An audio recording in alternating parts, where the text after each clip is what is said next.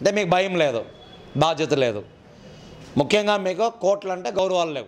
మీకు తెలుసు ఇక్కడ ఏమైనా జరిగితే నెక్స్ట్ స్టెప్ లీగల్గా ప్రొసీడ్ అవుతారన్న విషయం. మీరు తెలిసి కూడా ఇలాంటి తప్పు చేశారు. మళ్ళీ మీరు మళ్ళీ మీరే సమర్థించుకుంటారు. ఎందుకు సార్ ఇలాంటి పనులు చేస్తారు? మళ్ళీ మీ అందరికి హెచ్చరిస్తున్నాం సార్. ఎలక్షన్లు పెట్టకుండా పదవులు అనుభవించడం తప్పు. ఎన్నోసార్లు చెప్పాం. మీకు దమ్ము ఉంటే ఎలక్షన్లో నిలబడి గెలవండి అని. మీరు ఇలాంటి పనులు చేయడానికి సార్? మీరు అలానే కంటిన్యూ అవుతున్నారు బాడీ? ఎలక్షన్లు పెట్టండి సార్. కరెక్ట్గా ఉండే వాళ్ళు వస్తారు. ఇలాంటి పనులు చేయరు. మీరు ఇలాంటి పనులు చేయడం తప్పు. ఒక సంస్థ ఒక కంపెనీకి ఒక టైటిల్ని ఇచ్చిన తర్వాత అదే టైటిల్ని మీరు ఇవ్వడం అనేది ఏమనుకోవాలి సార్? మీ అహం అనుకోవాలా? మీ తలదుడుసు అనుకోవాలా? లేదంటే మీకు ఎవరి మీద గౌరవం లేదనుకోవాలా? నేను వకాలత్ తీసుకున్నాను సార్ వీళ్ళ తరపున. ఒక్కసారి నేను వకాలత్ తీసుకుంటే మీకు తెలుసు ధర్మ పోరాటం చేస్తానని దయచేసి భవ్య క్రియేషన్స్ వాళ్ళు కూడా కోట్లు పెట్టి సినిమా తీస్తున్నారు సార్. వీళ్ళు కోట్లు పెడుతున్నారు సినిమాలకి. మరి అలాంటప్పుడు ఇద్దరు ప్రొడ్యూసర్లు నష్టపోతున్నారు మీ వల్ల. మీరు చేసిన చేతకాని పని వల్ల ఇద్దరు ప్రొడ్యూసర్లు నష్టపోతున్నారు. అవసరమా? ప్రొడ్యూసర్ కౌన్సిల్ చేసే పని అదేనా? అని నేను క్వశ్చన్ చేస్తాను సార్. దయచేసి ప్రొడ్యూసర్ కౌన్సిల్కి నేను వార్నింగ్ ఇస్తున్నాను. నెక్స్ట్ టైం ఇలా ఇల్లీగల్ పనులు మీరు ఏదైనా చేసినా ఇలా మీ ఇష్టం వచ్చింది కదా అని సంతకాలు పెట్టి పంపించిన మీరు కోర్టులో బోన్లో నిలబడాల్సి వస్తుంది సార్. దయచేసి మళ్ళీ చెప్తున్నాను ఈ టైటిల్ సమస్యను ఇమీడియట్గా ఇద్దరు ప్రొడ్యూసర్ని పిలిపించి కూర్చోబెట్టి పరిష్కరిస్తారో లేదు మేము కోర్టులో తేల్చుకుందాం అంటారో డిసైడ్ అవ్వండి. వాళ్ళ డ్యామేజ్ అయ్యింది. చాలా బాధపడుతున్నారు. ఇందాక నేను విన్నాను ప్రెస్లో నా పక్కన కూర్చొని ఒక సినిమా ప్రేమికుడు తెలుగు సీనోని పేరు పెట్టుకున్నాడు. ఎంత ఇది ఉంటే ఆయన తెలుగు సీనోని పెట్టుకుంటాడు సార్ మన తెలుగు మీద గౌరవంతో. చచ్చిపోతానంటున్నాడు సూసైడ్ చేసుకుంటాను అన్నాడు ఎందుకు సార్? మీరు చేసిన తప్పుకే. మీరు చేసిన తప్పుకి ఎందుకు సినిమా ఇండస్ట్రీలో కొత్తగా సినిమా కోసం ప్రాణం ఇచ్చేవాళ్ళు చచ్చిపోవాలా? మీరు చంపేస్తున్నారు అలాంటి వాళ్ళని ఇండైరెక్ట్గా చంపొద్దని నా రిక్వెస్ట్ సార్. దయచేసి మళ్ళీ చెప్తున్నాను తెలుగు ఫిలిం ప్రొడ్యూసర్ కౌన్సిల్లో ఇప్పుడు ఎవరైతే మీరు పదవులు అనుభవిస్తున్నారో ఇల్లీగల్గా ఎలక్షన్లు కూడా పెట్టనీయకుండా ఇలాంటి పనులు చేస్తున్నారు చేయొద్దండి. దయచేసి ఒక టైటిల్ ఒకరికి ఇచ్చిన తర్వాత మళ్ళీ ఇంకొకరికి ఇవ్వద్దండి. ఇవ్వాలా అనుకుంటే మీకు సంస్కృతి ఉంది ఎన్ఓసీ తీసుకొని ఇవ్వమని. అలా తీసుకొని ఇచ్చి ఉండాల్సింది మీరు. ఏ? అలా చేయలేరా? మీకు చేత కాలేదా? ఎన్నో కోట్లు కష్టపడి సినిమా తీస్తారు సార్. ఎన్నో వందల మంది పనిచేస్తారు ఈ సినిమా కోసం. ఎన్నో వందల ఫ్యామిలీలు బతుకుతూ ఉంది. మీ వల్ల కొన్ని వందల ఫ్యామిలీలు రోడ్డు మీద పడే స్థితికి మీరు తీసుకొస్తున్నారు. మీరు అన్నారంట నిన్న వీళ్ళు అన్నారు నా దగ్గర. ఏ కేవలం చిన్న టైటిలే కదండి. చిన్న టైటిల్కి మీరు ఇంత రాద్ధాంతం చేస్తారా? చిన్న టైటిలా సార్ ఇదే? చిన్న పిన్ను తీసుకొని పొడుచుకోండి సార్ గుండెల్లో. మీరు బతుకుతారేమో చూస్తాను. మీ వయసు ఎంత ఉంటా సార్? ఒక యాభై సంవత్సరాలు ఉంటుందా? యాభై సంవత్సరాల నుంచి మీరు గాలి పిలుస్తున్నారు కదా? చిన్న చెప్తాను సార్ ఒక్క ఐదు నిమిషాల్లో గాలి పీల్చకుండా ఉన్నాను సార్. బతుకుతారేమో చూద్దాం. చాలా చిన్నదే కదా సార్? యాభై సంవత్సరాలు ఐదు నిమిషాలు అంటే ఉండలేరు మీరు. చచ్చిపోతారు. అవునా? గాలి లేకపోతే అలానే టైటిల్ లేకపోతే సినిమానే లేదు సార్. జనాలకి ఏమని పిలుస్తారు సార్? నా సినిమా చూడండి అంటే వస్తారా జనాలు? నేను హీరోగా సినిమా చేశాను రండి అంటే వస్తారా? రారు సార్ నాకు టైటిల్ ఉండాలి. ఆ టైటిలే హండ్రెడ్ పెట్టుకున్నారు వాళ్ళు. ఆ హండ్రెడ్ కూడా మీరు దొబ్బేస్తారా? సార్ క్రియేషన్ క్రియేషన్ అంటారు. ఎక్కడ క్రియేషన్ ఉంది సార్?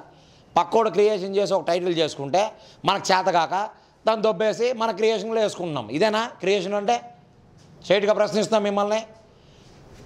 డైరెక్టర్ తప్పులేదు సార్. ప్రొడ్యూసర్ తప్పులేదు సార్. ఎందుకు వాళ్ళ క్రేజ్ ఉండేది ఏది కావాలని వాళ్ళు అడుగుతారు. ఈ సంస్థలు ఉన్నాయి చూసారా? పని పాట లేకుండా పదవులు అనుభవిస్తా సెటిల్మెంట్లు చేసుకుంటా. ఇలాంటి గొడవలు జరిగితే పిలిచి కూర్చోబెట్టి సెటిల్మెంట్ చేసి అక్కడ కొంచెం ఇక్కడ కొంచెం తీసుకుందామని మీ ఉద్దేశమా? అని అనుకుంటున్నాను సార్. ఎవరన్నా అనుకుంటారు? మీకు తెలుసు హంటు టైటిల్ అని ఆల్రెడీ వీళ్ళకి ఇచ్చారు అని. తెలంగాణ ఫిలిం ఛాంబర్ ఇచ్చింది. ఏమన్నా ఊరికే ఇచ్చారా సార్? టైటిల్ మీరేమన్నా డబ్బులు తీసుకున్నారు కదా? తీసుకున్నందుకు మీ పని ఏంటి సార్? ప్రాబ్లం వచ్చినప్పుడు ముందు నిలబడి సాల్వ్ చేయాలి? చేస్తున్నారా? దయచేసి ఇప్పుడు కూడా నేను అందరికి చెప్తున్నాను సార్. సంస్థలు ఉండేది మనందరూ బాగు కోసం. ప్రొడ్యూసర్లు డైరెక్టర్లు బాగు కోసం ఉంది. కథల బాగు కోసం ఉంది. ఎక్కడ బాగుంది సార్? చంపేస్తారా ఇండస్ట్రీని మీరు? అసలే జనాలు థియేటర్కి రావట్లేదు. ఎందుకు రావట్లేదో మీకు తెలుసు. కథల్లో దమ్ము లేవు.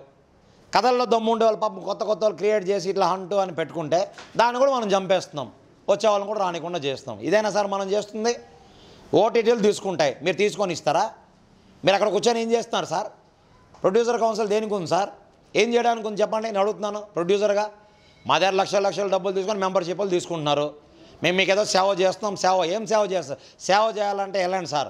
భజనలు చేయండి మందిరాల్లో కూర్చోండి గుడిలో కూర్చొని చేయండి సార్. దాన్ని సేవ అంటారు. ఇక్కడ మీరు బిజినెస్ చేస్తున్నారు sir.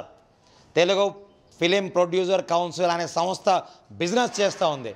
డబ్బులు తీసుకుంటా ఉంది. డబ్బులు తీసుకొని టైటిల్ ఇస్తూ ఉంది. ఫ్రీగా ఇస్తున్నారు. మీరేమన్నా? అది సేవ అవుతుందా? బిజినెస్ అవుతుంది. ఒక్క రూపాయి ట్రాన్సాక్షన్ జరిగినా కూడా ఇస్ బిజినెస్ సార్ తెలుసా మీకు ఆ విషయం? మళ్ళీ చెప్తున్నాను దయచేసి ఈ హంట్ అనే టైటిల్ విషయంలో నాకు చాలా బాధ వేసింది. నేనే చాలా టైటిల్ దీంట్లో నేను మెంబర్ సార్ కమిటీ మెంబర్ నేను కూడా. మా దగ్గరకు వచ్చినప్పుడు మేము ఎన్నోసార్లు చెప్పాం సార్ ఒక టైటిల్ ఒక ప్రొడ్యూసర్కి ఇచ్చిన తర్వాత అదే టైటిల్ ఇంకో ప్రొడ్యూసర్కి ఇవ్వద్దండి. ఇస్తే చాలా ఇబ్బందులు వస్తాయి. సైమల్టేనియస్గా ఉన్న టైటిల్ కూడా ఇవ్వద్దండి. ఇవ్వాలనుకుంటే ఎన్ఓసి తీసుకోండి సార్ వాళ్ళు ఎంతో కష్టపడి వాళ్ళ క్రియేషన్ తీసుకొని పెట్టిన టైటిల్ని మీరు ఐదు నిమిషాలు కాపీ చేస్తున్నారు. కాపీ రైట్ యాక్ట్ కిందకి కూడా వస్తుంది సార్ ఇదే. దయచేసి చెప్తున్నాను నేను నోటీసులు పంపించాను.